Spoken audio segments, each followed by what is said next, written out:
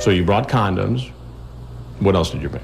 Look, this is not, but that, they, And then you sent these pictures. I don't, anyway, I, I don't believe there's anybody out there believes that I have anything other than consistent interest in making sure every child has, these are all our children. You talk about taking her out to buy sexy bras and panties and thongs. Uh, When I ask him about his obscene screen name, he starts to laugh. Well, you think this is funny? you know, I'm, I'm just not going to go there. If we keep doing that, that's, I mean, There's something I got to tell you. I'm Chris Hansen, and I work for a show called Dateline NBC. oh, come on, man.